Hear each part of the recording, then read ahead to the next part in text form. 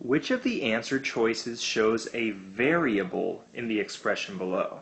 Now a variable is a stand-in for a number that can change. So for instance, 3y cubed, we don't know what y is. y is a variable.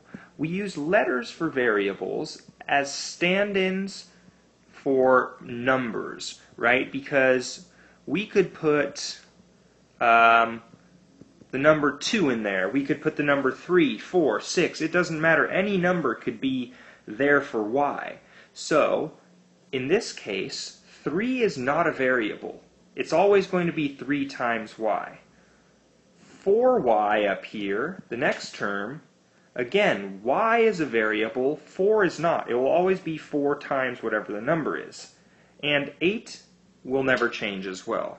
Therefore, our variable in this problem is the letter y. You'll know you have a variable because it will be a letter that stands for, uh, could be any number. We could input any number there and then solve for the expression's value.